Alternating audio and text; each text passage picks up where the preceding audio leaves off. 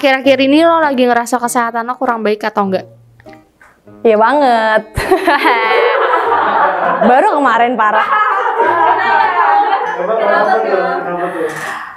Ada virus menyerang. banget karena baru aja sembuh kemarin sakit eh, empat hari kayaknya. Sakit tenggorokan tapi alhamdulillah gue pakai air hangat terus enggak sih.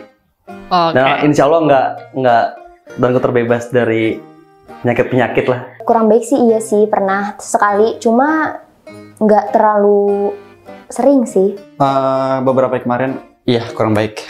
Tapi kesehatannya paling cuman puyang-puyang ngelihat rekening doang sih. Sebenarnya gue lagi batuk. Takutnya gue lagi omikron nih, cuman Alhamdulillah kalau untuk sekarang ini udah better. Sebelum-sebelumnya sedikit batuk. Batuk aja. Nggak, nggak yang lebih.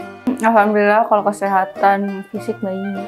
Tapi kalau mental ya Kalau kurang sehat sih sebelumnya. Kalau sekarang alhamdulillah insya Allah sehat. nggak belum maksudnya belum merasa sakit nggak ngerasa lemes juga ya alhamdulillah nggak gue sehat banget parah sehat olahraga pokoknya macem-macem dah alhamdulillah ya badan gue sehat sampai sekarang Biasanya suka takut gak sih di tengah kondisi yang saat ini?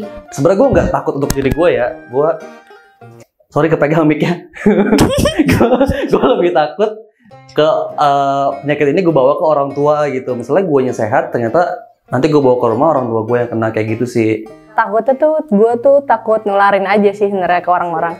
Dibilang takut sih ya, tapi mungkin agak sedikit berkurang kali ya dari sebelumnya kayak misalkan dua tahun setahun sebelumnya karena kayak ngelihat kondisi saat ini tuh em, apa ya bisa dibilang mungkin udah terbiasa jadi kayak tetap lebih waspada aja Karena ngeliat di media banyak banget orang yang kena takut. Cuman sekarang waspada aja. karena banyak banget di sekeliling gue yang gue kenal gitu kayak eh, iya nih gue positif gue positif gitu Karena gue pernah covid tahun lalu.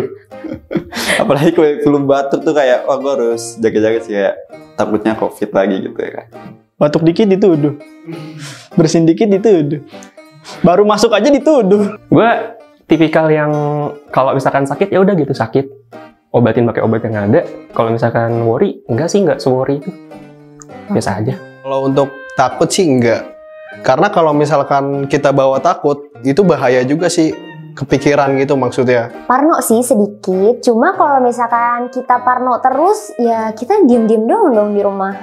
Balik lagi jangan terlalu takut di apa jaga aja prokesnya. Terus juga di tempat kerja gue kebetulan tuh gue di klinik jadi tuh kayak gue ngeliat yang positif itu sehari tuh kayak banyak jadi kayak kadang gue takut tapi ya gimana lagi emang udah ada keadaannya kayak gini. oke menurut lo seberapa penting kita harus ngejaga kesehatan saat ini penting banget karena ya eh, sekarang kan juga udah mulai aktivitas lagi udah mulai apa ketemu sama banyak orang jadi harus lebih memproteksi diri lagi sih Penting banget bro. Sehat itu mahal. Karena kalau lu nggak sehat tuh, lu malah menimbulkan dosa.